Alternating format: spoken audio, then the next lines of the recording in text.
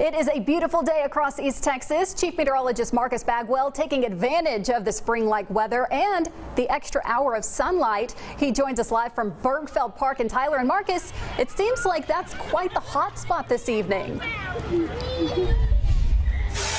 Casey, it is the hot spot. We have a lot of kids and their families that are here, and with it being spring break, no better way to be spending the day than being outside. I did my uh, cutting of the grass this morning at home, so I got my share of outside, and now I get to be outside again, and it's a lot of fun. We've had a couple of kids come up and say hello. Guys, are y'all enjoying spring break? Yes! All right, that is great. Well, we have some changes coming our way with the weather. So we get one more day of sunshine for tomorrow, okay? And then we got some rain coming in on Friday and some clouds and still some rain probably coming in this weekend. Do you guys like rain?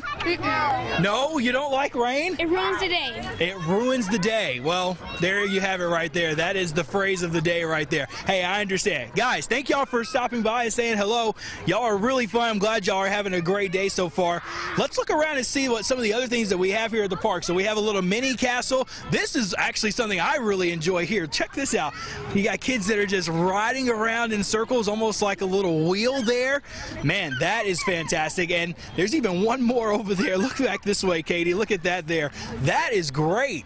Really neat. I, I don't think I can stand on that and do the weather at the same time. I think I might have uh, might have a little episode if that were to happen, but that's okay. Hey, it's a lot of fun. The sun will set just before 7:30, so get out and enjoy the great weather. You'll be able to do it again for tomorrow. We did touch 80 degrees in many areas this afternoon. We'll show you where we stand right now with the temperatures. We are into the upper 70s and still near 80 for a few spots. Gilmer at 79, 77 in Nacogdoches, 78 is the temperature over in Crockett right now, and it's going to be another warm day come tomorrow. Let me show you the forecast breakdown of what's coming our way. We'll start tomorrow with cloud cover once again, but then sunshine will take over. Breezy, if not windy at times for tomorrow. We're going to be tracking some wind gusts that could approach near 30 miles an hour at times for tomorrow afternoon. Now, we are also going to monitor a chance for a few thunderstorms. This chance is primarily going to be focused in our northern area. So let me show you that here with Futurecast. That's the early afternoon, and you'll notice that we'll see a few isolated showers trying to form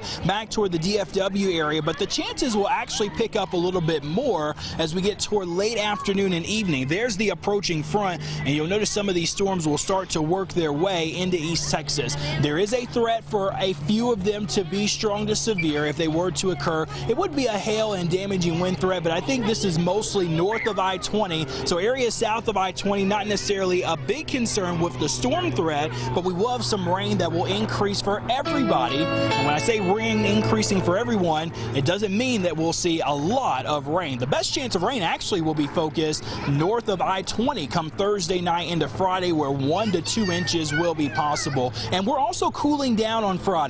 Temperatures will drop down to near 60 over the central and northern areas, but south of Highway 79 in deep East Texas, you're still going to be in the 70s. The weekend also has some scattered showers that will still be possible as we warm back up. So it'll be humid this weekend along with some off and on rain. And deep East Texas tomorrow still in the 80s, but notice that temperature change come Friday into the lower 70s and right back upper 70s later on this weekend. It's been a great last couple of days. Kids enjoying it here on spring break and enjoy it tomorrow before we start to see those changes.